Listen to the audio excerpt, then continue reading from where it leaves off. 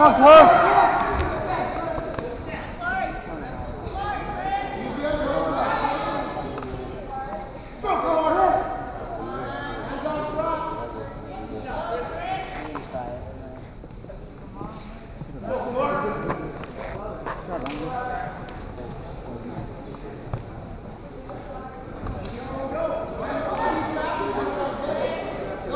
Come on, Clark. Why are you standing up?